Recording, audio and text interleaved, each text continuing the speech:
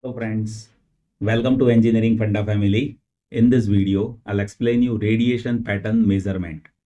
Before I start with my explanation, let me show you how many things that I'm going to cover in this video. See, first of all, I'll be discussing about basics of radiation pattern measurement. After that, I'll explain you what is the distance requirement for radiation pattern measurement. And at last, I'll explain you practical setup of radiation pattern measurement. So let us begin this video with first agenda that is basics of radiation pattern measurement. Measurement of radiation pattern is done at fixed distance r and at fixed frequency f. As if I say here we have antenna and for this antenna if you want to measure radiation pattern then with this antenna measurement is done at constant distance r with respect to this antenna.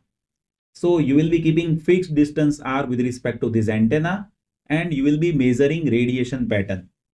And here transmission frequency of that antenna will be fixed. It will be constant frequency throughout measurement of radiation. Here whatever distance that we prefer for measurement of radiation pattern, that distance should be there in far field only. The reason is with antenna, we have three different regions near field reactive region, near field radiative region and far field radiative region. Proper pattern of antenna comes in far field only. That's why we will be keeping distance r in far field only. So radiation pattern measurement that we do with fixed distance r and fixed frequency f where distance r will be there in far field only with the measurement of radiation pattern, we will be changing angle theta and phi. One should know angle theta that is angle with respect to vertical axis. That vertical axis will be z axis where theta will be changing from 0 to pi and angle phi that is horizontal angle that is angle in xy plane with respect to x axis that will be changing from 0 to 2 pi. So by changing theta and phi as per theta varies from 0 to pi and phi varies from 0 to 2 pi, we can have complete surrounding of antenna and by which one can identify radiation pattern, right? So in measurement of radiation pattern, we will be changing angle theta and phi where theta will be changing from 0 to pi and phi will be changing from 0 to 2 pi. Here radiation pattern measurement that is done with respect to isotropic antenna. So whatever value that we calculate for radiation pattern, that is there with respect to isotropic source. And one should know isotropic source radiates equally in all the direction. So with respect to isotropic source, we identify radiation pattern. And with radiation pattern, with antenna, there are many parameters. Like in radiation pattern, one can identify radiation intensity, radiated power, directivity of antenna, gain of antenna as well as one can observe different lobes like major lobe and minor lobes. In minor lobes, one can have side lobes and back lobe. With radiation pattern, one can identify half power beam width, null beam width, as well as one can identify front to back ratio. So based on radiation pattern, one can understand radiation mechanism of antenna. Now I'll explain you how to identify distance for measurement of radiation pattern.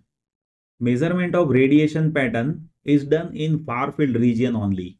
If you talk about different region of radiation with antenna, then in total we have three different radiation region of antenna.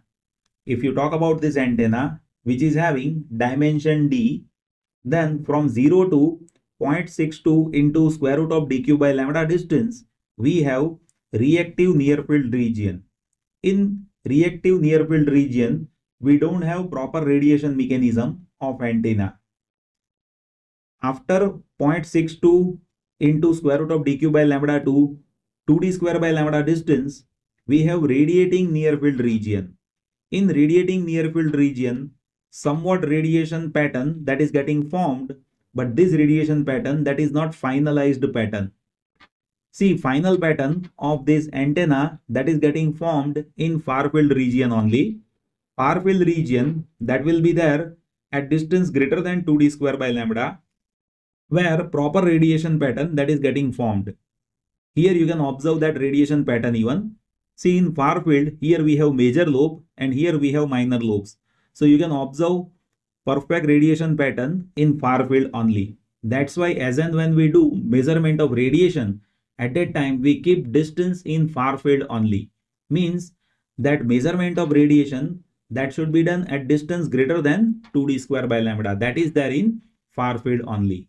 Now I'll explain you measurement setup of radiation pattern measurement of antenna.